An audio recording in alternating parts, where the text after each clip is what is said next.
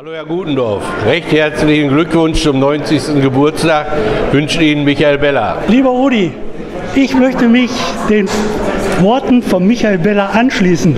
Wünsche dir zu deinem 90. Geburtstag alles erdenklich Gute, dass du gesund bleibst und für die nächsten zehn Jahre noch fit, fit durch, die Fußball, äh, durch den Fußball gehst. Ja, ich, ich muss ganz ehrlich sagen, ich freue mich darüber, dass ich also als Kapitän der damaligen Vizemeistermannschaft heute noch mit dir über diese Dinge sprechen kann. Wir haben gemeinsam den größten Erfolg in der MSV-Geschichte errungen. Und darauf sind wir sicherlich auch du stolz. Du bist auch nicht vergessen, die junge Generation hat dich ja vor einigen, vor einigen Jahren ja, zum Trainer des Jahrhunderts gewählt. In dem Sinne alles Gute, viel Kraft für die nächsten zehn Jahre. Tschüss.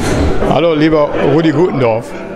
Ich habe gehört, du hast heute deinen großen Tag, seinem Geburtstag alles, alles Gute, bester Gesundheit. Und ich war ja noch einer, der früher vom Fernsehen gesessen hat, als du mit MSV Duisburg das erste Bundesliga-Jahr die deutsche Vizemeisterschaft errungen hast. Und das war äh, der Weg eigentlich, den der MSV gegangen ist, wo ich von diesen 19 Jahren erste Liga äh, neun Jahre, zwölf Jahre mit dabei war. Ich fand das ganz toll. Bleib mir gesund, alles Gute, wünsche dir Bernhard Ennert Dietz.